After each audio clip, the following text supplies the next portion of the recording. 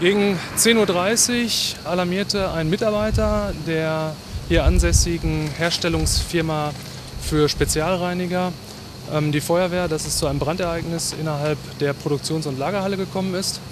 Und schon auf der Anfahrt war eine relativ massive Rauchentwicklung erkennbar. Da in, dem, in den Hallen entsprechende Chemikalien lagerten und es zunächst unklar war, wie diese reagieren, haben wir zunächst weiträumig das Gebiet zum einen geräumt und auch die Bevölkerung gebeten, Fenster und Türen geschlossen zu halten, um hier einen bestmöglichen Schutz der Bevölkerung sicherzustellen.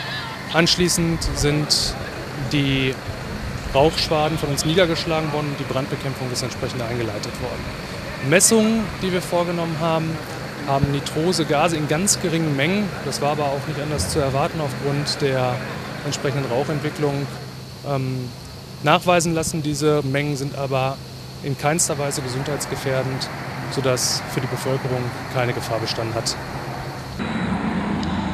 Achtung, Achtung, hier spricht die Polizei.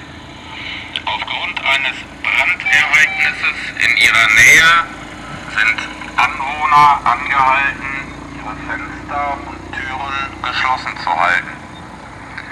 Achtung, Achtung, hier spricht die Polizei.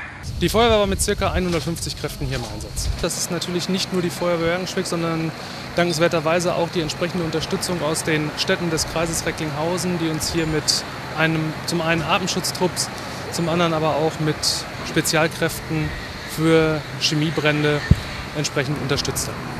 Es gab eine leicht verletzte Person, nämlich die, den Mitarbeiter der Firma, der den Brand entdeckt hat. Der hat etwas von den Rauchgasen eingeatmet. Zur Kontrolle ist er ins Krankenhaus gebracht worden. Nach jetzigem Stand der Dinge wird er aber vermutlich nach ambulanter Behandlung auch schon wieder entlassen. Momentan besteht keine weitere Gefährdung für die Bevölkerung. Ähm, Im etwas entfernteren Bereich ähm, die, ist die Bevölkerung noch weiterhin aufgefordert, die Fenster und Türen zu schließen, bis wir den Brand endgültig gelöscht haben. Im Nahbereich werden die Personen, die ihre Wohnungen verlassen mussten, in den nächsten Stunden auch wieder zurückgeführt in ihre Wohnung.